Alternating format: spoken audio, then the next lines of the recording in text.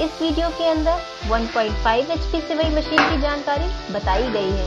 इस वीडियो को देखने से पहले चैनल को सब्सक्राइब करें और बेल आइकन को दबाना ना भूलें, ताकि नए वीडियो की जानकारी आप तक पहुँच सके। इस वीडियो में सिवाई मशीन को कैसे चलाना है उसकी पूरी जानकारी बताई गई है।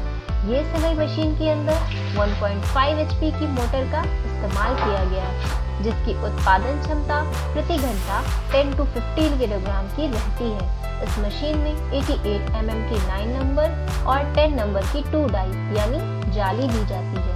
इस मशीन में सिवई के अलावा नूडल्स पापड़ी, चक्री इत्यादि भी बना सकते हैं। जिसकी डाई आप मशीन के साथ एक्स्ट्रा ले सकते हो या अलग से कभी भी हमारी कंपनी के पास से मंगवा सकते हो।